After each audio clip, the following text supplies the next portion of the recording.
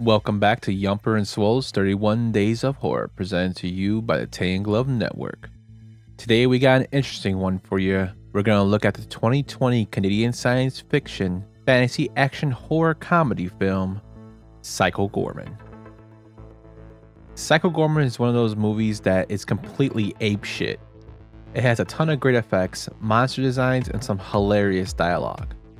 The movie was written and directed by Steven Kostanski, who also worked and built most of the creature's looks and makeup effects, and they're totally badass.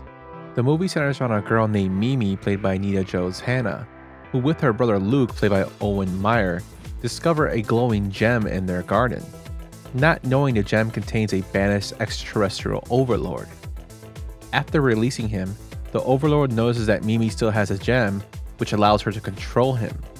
This part of the movie is where the movie adds some great comedy interactions between Psycho Goreman and the kids, and it's top notch. Especially when Mimi tries to give him magazines that have hunky boys, and he responds, But look at all the hunky boys! I do not care for hunky boys.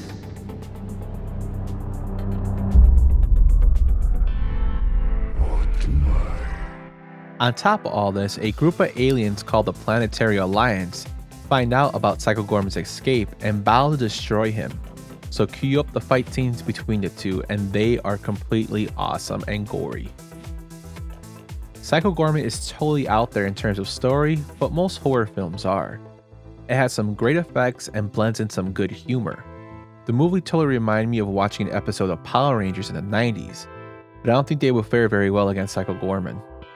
If you haven't seen this one, check it out as it's on Shudder for Amazon Prime.